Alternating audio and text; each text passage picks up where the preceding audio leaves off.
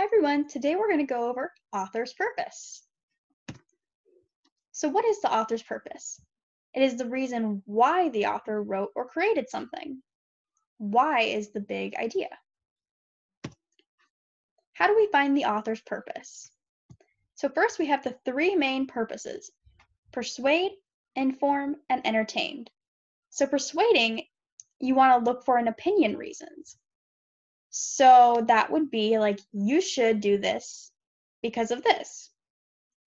And then we have to inform, and you should look for facts or information, like one in 10 hamsters are cute. And then to entertain, you should look for characters with a problem and a solution. So you might look for words like once upon a time, because that would mean it's a story. So how do we find the author's purpose? Remember PIE.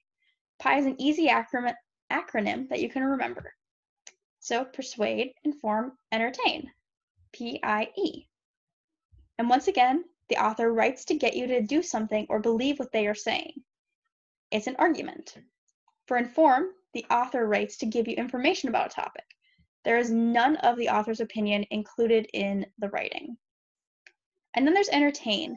The author writes to tell you a story that you will enjoy. It doesn't always have to be fiction, uh, nonfiction or fiction. Okay, so once again, we can also look for keywords. These are different keywords for each of these. So to give a couple, we have in my opinion, letters, words that compare, good, better, or best. Those are for persuade. Then we have inform. So we have charts, data, graphs, text features, and then what you might think of as dull facts. Those will be included in pieces that are meant to inform. And then we have entertain. So for entertain, you'll see words like once upon a time, talking animals, rhyming, jokes or humor, or a lot of dialogue. That will hint to you that it's a story. And once again, the author's purpose is all about PIE. Persuade, inform, entertain. So why is finding the author's purpose important? It helps us make sense of and comprehend text. It helps us understand the reasons the authors wrote the piece. It helps us distinguish between fiction and nonfiction. It helps us understand how to read the selection. It allows us to think critically about techniques the author includes, and it allows us to acknowledge the author's point of view. It is important. All right, now for a video. Ooh, GT, I like this one.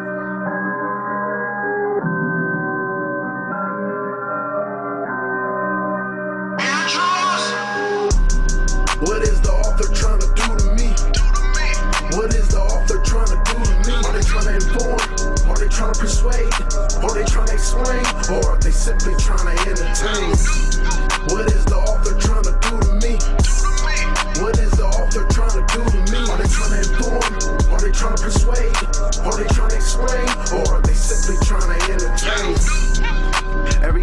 Has a purpose, and it's up to the reader to understand that purpose. If they try to persuade, they trying to get you to do something or think differently about a topic. If they try to inform, they just giving you facts. It's far from opinion. Most of the time, the information is nonfiction.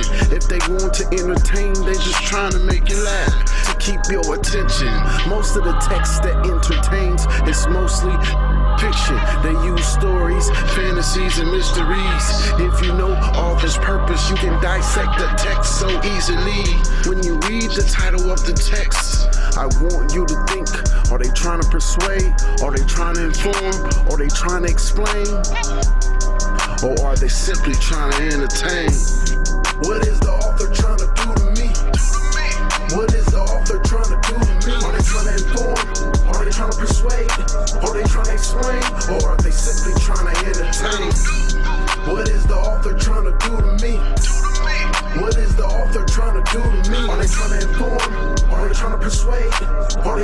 Or are they simply trying to entertain?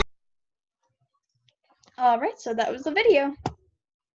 So as a reminder, The three different authors' purposes are to persuade, inform, or entertain, aka pie. And here's some pie. Have a great day.